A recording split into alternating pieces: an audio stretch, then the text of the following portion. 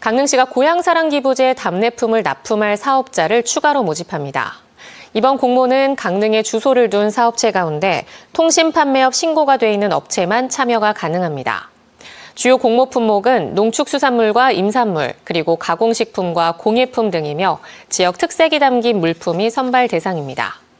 공모 신청은 다음 달 11일부터 이틀 동안 시청 특별자치과에서 접수가 가능합니다. 현재 강릉에는 모두 44가지 종류의 고향사랑 기부제 답례품이 있습니다.